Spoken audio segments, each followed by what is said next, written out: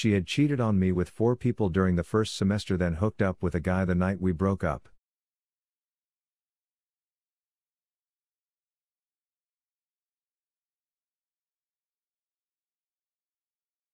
I helped a girl get petty revenge on her cheating ex. Almost a decade ago, in my first year of uni, I had AFWB who was amazing in bed, but neither of us wanted anything more serious. Just as I felt like I might consider a boyfriend, I found out that he told me he was spending a weekend at a concert with a friend, when he actually was spending a weekend with another girl in her family home and went to a gig on one night. We weren't even close to monogamous, but to that point we'd been honest. If he told me he would be with her in what I'd consider to be a very boyfriend type situation, I would have been more okay.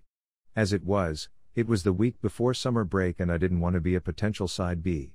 I let the relationship fizzle.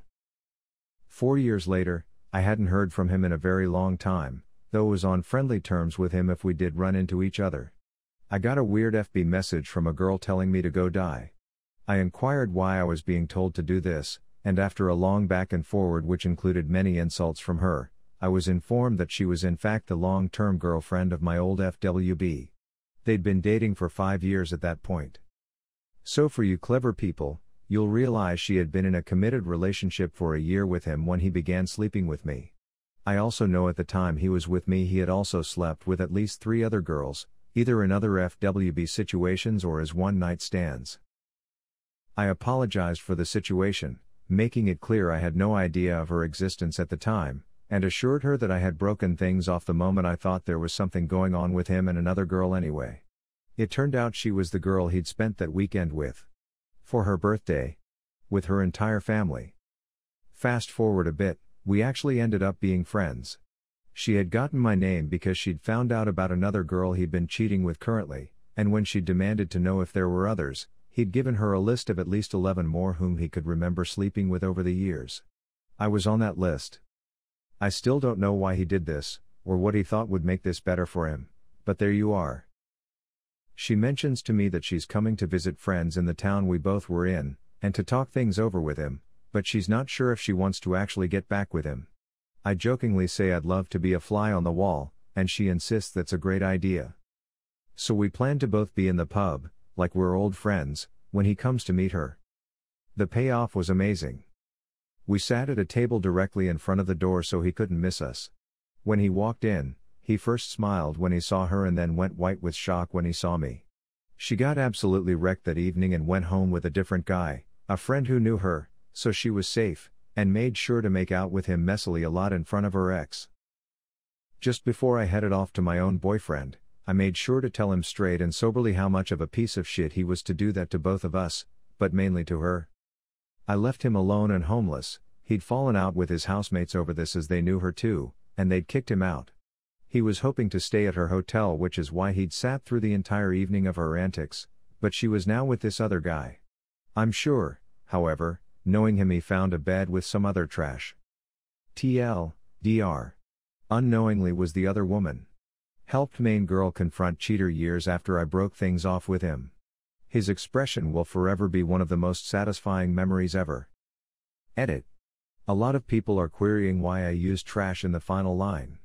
I thought I'd try to explain it. As one person guessed, there is a difference, in my eyes in the least, between someone who sleeps around, is open and honest about this behavior, and who is safe in the sense of using protection, etc. Then there's another caliber of person who sleeps around but tells each of their partners that they're monogamous. Will manipulate, coerce, or bribe anyone to sleep with them, whether they were in a relationship or not, and who doesn't believe in using protection for whatever reason. I would say that anyone who is in the first category isn't a bad person, but quite normal. Anyone in the second category is trash. And those people were the kind of girls that he would sleep with when I was friends with him. When we were together, there was one ongoing point of contention with a girl who was in our friendship group who did all of those things, and he would constantly complain about her to me, but then I'd find out the next day that he'd gone home with her. You can't tell me that someone's sexual habits are revolting to you, and then have sex with them and have me not think you're a hypocrite. This was another factor in me breaking things off. I didn't want to catch anything from her via him. After I broke things off with this guy, I was in an open relationship with another guy for about a year until he fell in love with a girl and I'm still friends with both of them. I didn't, and still don't to a degree, feel that sex was a particularly intimate or emotional thing. It was just an itch to scratch, and I didn't want the emotional connection at the time that a full time boyfriend would bring. Just before the girlfriend got in touch with me, however, I did meet someone who I finally felt a connection with, and I felt he was worth me giving up everyone else for. We're still in a monogamous relationship, something I never thought I'd be happy with, and are planning a life together. Absolute petty revenge story on my cheating ex. So I'd been on and off with this girl for a while. She was smoking hot, solid 9 over 10. Her and I just kind of clicked right off the bat and it felt very natural. She seemed pretty smart too, felt like I lucked out. Boy was I wrong. We were at that awkward, friends but not friends stage for about half a year and then one night she drops the L bomb. I'm totally cool with it too, let her know I feel the same way. We date for about a year. Then shit gets weird. I post some stupid cute comment on her Facebook picture, just trying to be sweet, and this dude comes in telling me I'm too slow on the draw and he's Prince Charming. Red flags now, this dude sounds pretty confident. The, we've been talking about stuff kind of confident.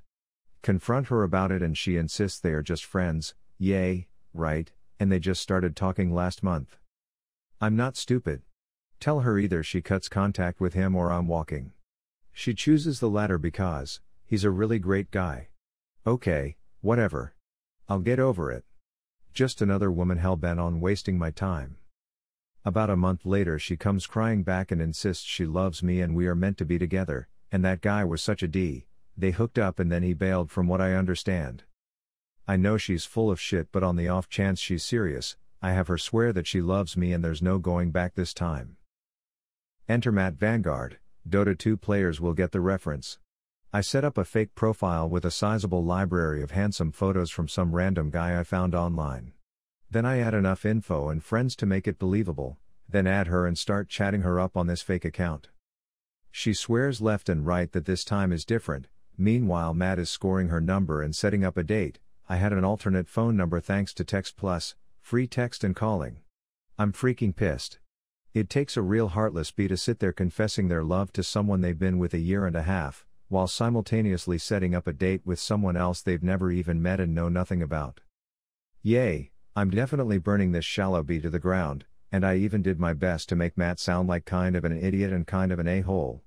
She dropped the babe word for example, and Matt responded with, Don't call me that again, got it? I'm not your babe. So she's going to school and takes the bus back and forth. I know her classes run pretty late, and buses don't run forever, you know? So Matt is going to pick her up after school in his super fancy car and take her on the most romantic date of her life, or at least that's what she thinks. He conveniently doesn't get off work until about an hour after she gets out of class. She says that's fine and she'll just study until Matt arrives. Meanwhile, I'm asking her, as myself, if she wants to hang out and she says she has some extracurricular thing going on and her friend is going to give her a ride home. Ha ha ha, F you. So she hits up Matt. Her, hey, are you almost here? If not, I have to take the bus because they stop running soon. You can tell she's a little annoyed. He says, Yay, sorry, I had to do overtime. We were super busy tonight. I'm leaving now.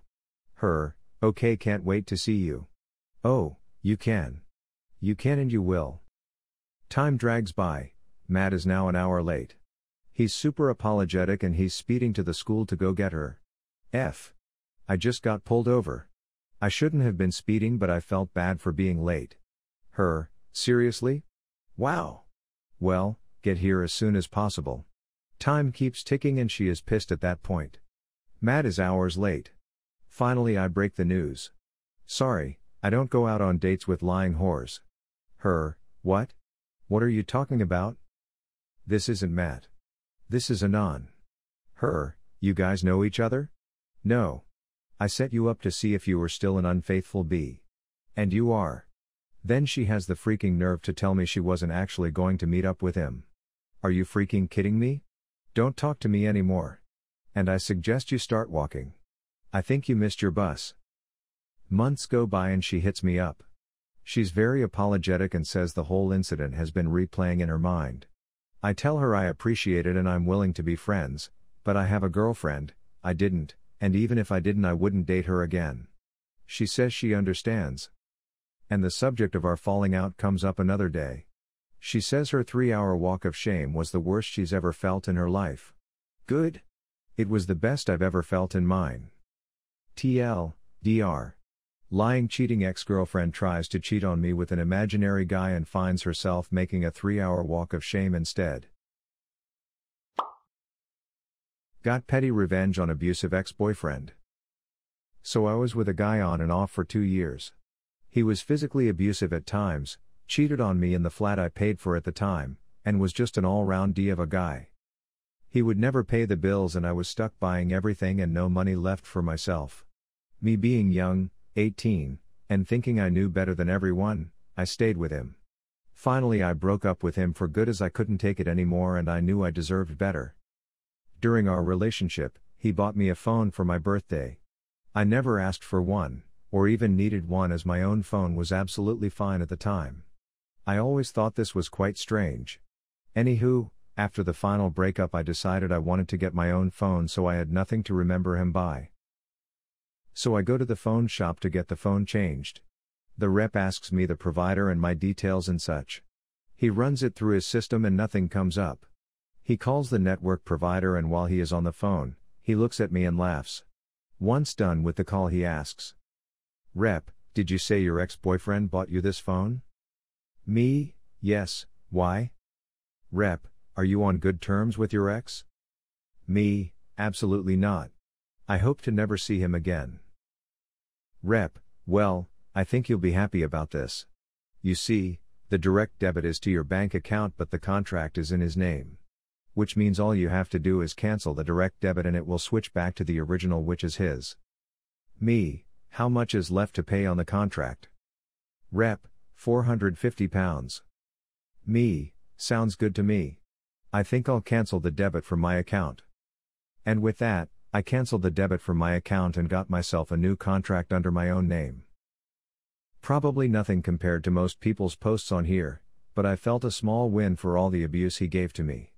About a month later, he messaged me on social media after making a fake account, asking why he has money coming out of his account for the phone. He was stuck paying the whole balance. Revenge on blind ex girlfriend. I was with this girl named Cindy for three years, but for the purpose of this story, we will call her CW. CW was my first real girlfriend, and I was a victim of being blinded by what I thought was love. The first year was okay, other than her being childish and controlling. The second year sucked bad, but I didn't know how to break up with her, so I dealt with it. I suspected her of cheating on me several times at this point. At the beginning of the third year, she unfortunately went blind. We were both devastated, and the next two months were very difficult to say the least. At this point, I didn't even think about breaking up with her because I didn't want to leave her when she needed me the most. She would get lost walking from the couch to the refrigerator. Anyway, I did absolutely everything for her. I mean, everything. From wiping her ass to getting her a glass of water and everything in between. With my help, she eventually adjusted as much as would be expected. We got in contact with our local DHS office, and with their help, we got the ball rolling on getting her enrolled in Ikerwood School for the Blind in Chicago. She had to gain a certain level of independence in order to attend, and with my help, she was accepted. This is when it really goes downhill. She goes to school and within 24 hours decides to break up with me. We talk through it and stay together. I pay all the bills and give her spending money and buy train tickets back and forth, all the while she never wants me to come visit, seems fishy to me. The entire first semester is rough for me. We fight the entire time she was home on break. A week into the second semester, we barely talk. I get really drunk one night, and all my frustrations from the last two years got the best of me and called her a cheating bee. She breaks up with me, and I'm sad. She comes home to gets her things and moves out of my house and into an apartment with a guy from school the next week. A semester goes by and I never hear from her until she breaks up with this guy and moves back home. We start talking about getting back together, so I get her old roommate's number because I have questions that need to be answered. I call her up and she tells me everything I need to know. She had cheated on me with four people during the first semester, then hooked up with a guy the night we broke up. I told her to come get the rest of her stuff from my place. While she is there, I delete her text to speech app from her phone. I have a big ass sharpie and write, I am a cheating bee on several of her shirts. I throw her shit out in the yard and kick her out. MySpace was still a thing at this time, so I posted all kinds of stuff about her being a cheater. It was a couple of weeks later she finally admits everything after denying it for months. She even admitted to cheating before she went blind. It was only recently I learned that she wore at least two of the shirts I wrote on out in public. One of them several times. That had me messed up for a while, but it is satisfying knowing she wore the shirts and advertised her cheating ways for the whole world to see.